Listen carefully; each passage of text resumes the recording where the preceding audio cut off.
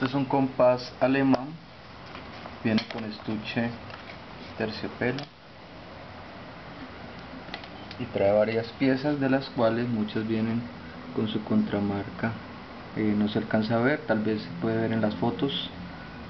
Hace falta una pieza aquí y esta tiene el pequeño detalle de que tiene una de las puntas está despuntada y se alcanza a ver. Solo una de las puntas está completa. El resto de las piezas están en muy buen estado de conservación. Es una excelente pieza. Viene su sello y Made in Germany